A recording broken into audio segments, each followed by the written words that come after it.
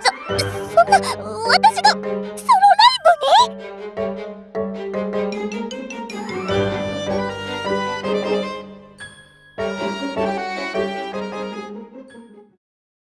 カタカタカタ、プルプル。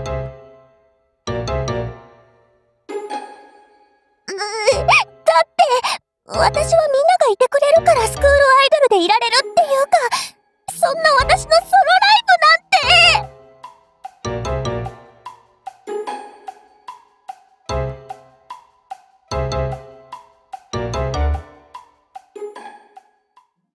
あ、それは、ニコちゃんと頑張った朝練のための朝練で。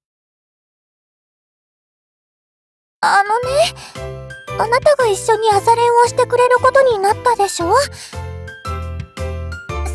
に向けてっていうわけじゃないんだけど、朝練であなたにかっこ悪いところは見せたくないなって思って、その前に練習をしてたんだ。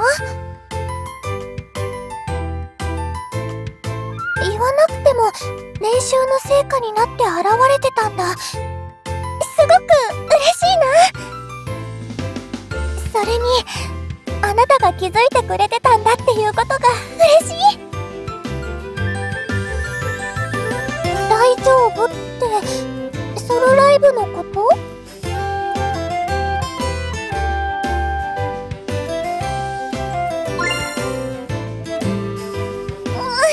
そんな意地悪言わないで。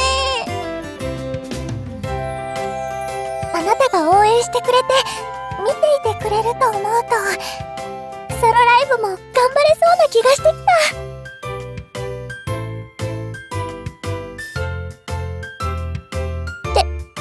やっぱり私のソロライブってちょっと。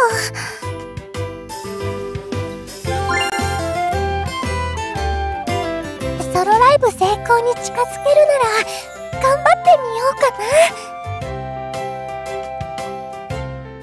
な。あなたが応援してくれて見ていてくれると思うとソロライブも頑張れそうな気がしてきた。